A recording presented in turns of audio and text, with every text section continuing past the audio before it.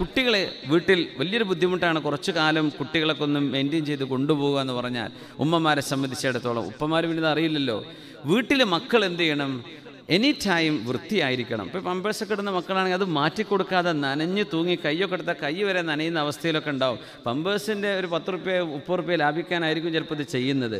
നാട്ടത്തെ പൈസ കുട്ടിയാണെങ്കിൽ അപ്പോൾ അതിനു വേണ്ടി എന്നാൽ ഒഴിക്കോട്ടെ? ഇനിയിപ്പോൾ ഉച്ചവരെ ഒഴിക്കാനില്ല? ആ ഒഴിക്കലും കൂടെ കഴിഞ്ഞിട്ട് ഈ മൂത്രമൊഴിക്കുമ്പോഴേ അതിലൊരുപാട് ജേംസ് ശരീരത്തിന്റെ വിസർജ്യമാണ് പോരുന്നത്. പ്രത്യേകിച്ച് പെൺകുട്ടികളൊക്കെ ആണെങ്കിൽ അതൊക്കെ അവിടെ വെച്ചുകൊണ്ടെന്നാൽ ജേംസ് കയറി അവർക്ക് അവിടെ ഇൻഫെക്ഷൻ വരും. ആൺകുട്ടികളാണെങ്കിലും. അപ്പോൾ എപ്പോഴും വൃത്തിയിൽ മക്കളെ നിർത്തണം എന്നൊരു പാഠം ഇതിൽ ഫാത്തിമ റതി അള്ളാഹുനെ കാണിക്കുകയാണ്. വാപ്പ വിളിച്ച് മോനുണ്ടോ എന്ന് പറഞ്ഞാൽ കൊണ്ടേ കൊടുക്കല്ല. അപ്പം മക്കൾ മൂക്കൊലിച്ചിട്ടുണ്ടാവും. അല്ലെങ്കിൽ മക്കൾ വൃത്തിയായിട്ടുണ്ടാവില്ല. അവർ ഒറ്റയ്ക്ക് പോയിട്ട് വല്ല മറക്കിരുന്ന് പോന്നിട്ടുണ്ടാവും. അവർക്ക് കഴുകാനൊന്നും അറിയില്ലല്ലോ. ഉമ്മ കണ്ടിട്ട് പോലും ഉണ്ടാവില്ല. അങ്ങനെയൊന്നും മക്കൾ എന്ത് ചെയ്യരുത്? ആളുകളുടെ മുമ്പിലേക്ക് കൊടുക്കരുത്. അവരെ വൃത്തിയാക്കി കൊടുക്കണം എന്ന ഒരു വലിയ പാഠം ഫാത്തിമ റതി അള്ളാഹുൻ ഇവിടെ ചെയ്തിട്ടുണ്ട് റതി അള്ളാഹുൻഹ അതുകൊണ്ടാണ് അബൂഹുറേർ തങ്ങൾ പറഞ്ഞു ഞാൻ വിചാരിച്ച പോലെ തന്നെ അപ്പോൾ കുട്ടിയുണ്ട് നല്ല സുഗന്ധമുള്ള ആ മാല ധരിച്ചിട്ടാണ് വന്നത്. സ്വർണമാല അല്ലേട്ടോ അത്. അത് പിന്നെ തസ്ബീഹ് മാലയിൽ കോർക്കുന്ന മുത്തുമണികളെ പോലെയുള്ള ഒരു മുത്തുമണിയുള്ള ഒരു മാലയാണ്. അത് കുട്ടികൾക്ക് അന്ന് സുഗന്ധമുണ്ടാവാൻ വേണ്ടി ഇട്ട് കൊടുത്തിരുന്നു. അതിന് സഹാബ് എന്ന് പറയും.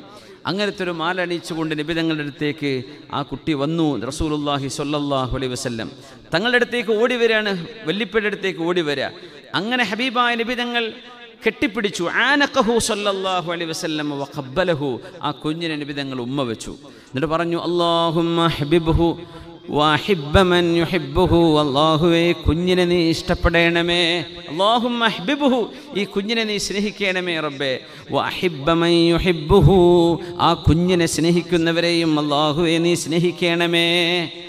ചില ചില റിവായത്തിൽ നിബിതങ്ങൾ കൈ കാണിച്ചു എന്നാ. അപ്പോൾ കുട്ടി ഓടി വന്നു. കുട്ടിയുടെ കൈ പിന്നെ ആം ഈ ഭാ സോറി കുട്ടി നബി സല്ലാഹു അലൈഹി വസല്ലമ തങ്ങളുടെ തോളിൽ കുഞ്ഞിന്റെ ഈ കൈഭാഗം ദിറാ ഈ ഭാഗം കുട്ടി വെച്ചു.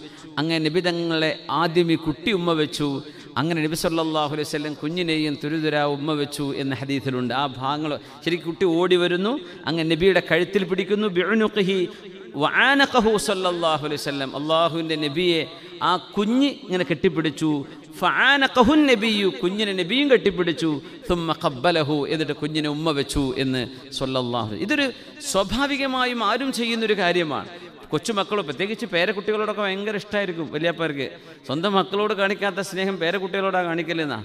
അങ്ങനെയാണ്. കാരണം വാപ്പയാവുന്ന സമയത്ത് എങ്ങനെ നല്ല വാപ്പ വാപ്പാവണമെന്ന് അറിയുന്നുണ്ടാവില്ല പേരക്കുട്ടിയൊക്കെ ആവുമ്പോഴാണ് നല്ല വാപ്പാർ ഇങ്ങനെ ആവേണ്ടത് എന്ന് പറഞ്ഞാൽ പേരക്കുട്ടിയൊക്കെ ഭയങ്കര സ്നേഹം. അപ്പോൾ പേരക്കുട്ടിയൊക്കെ പിന്നെ വാപ്പാരിമാരൊന്നും ഇഷ്ടമല്ല. വലിയപ്പാനും വലിയമ്മേനായിരിക്കും ഇഷ്ടം. അങ്ങനെ ഉണ്ടാവും അല്ലേ ഇല്ലേ? അങ്ങനെ എത്രയോ കുട്ടികളല്ലേ? വാപ്പ വന്നില്ലെങ്കിലും കുഴപ്പമില്ല. വലിയപ്പനെ കാണാണ്ടിരിക്കാൻ പറ്റില്ല. ഉപ്പപ്പാന്ന് പറഞ്ഞ് പിന്നാലെ കൂടും.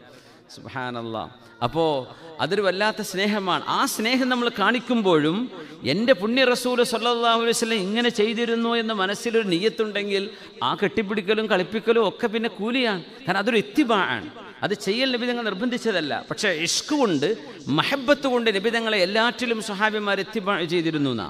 അങ്ങനെ നമുക്ക് ഇത്തിബാ ചെയ്യണം. അതൊരു നിബിതങ്ങളോടുള്ള സ്നേഹപ്രകടനമാണ്. മഹബത്ത് കൊണ്ടേ രക്ഷപ്പെടാൻ കഴിയൂ.